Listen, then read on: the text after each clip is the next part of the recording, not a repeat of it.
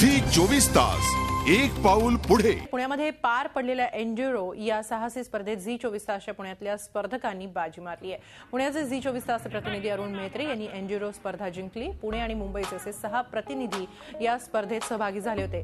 सह्याद्रीचं नागमोडी वळण सिंहगडाची आव्हानात्मक उंची आणि कोकणच्या कोकणचा काही भाग अशा खडतर मार्गावरून ही स्पर्धा पार पडली.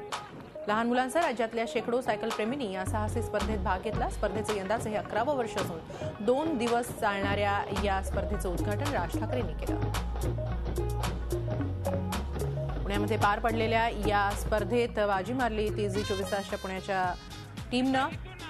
आणि दोन दिवस ही स्पर्धा होते आहे. एन्ड्युरो स्पर्धेवर अखेर झी चोवीस तासनं वर्चस्व राखलं.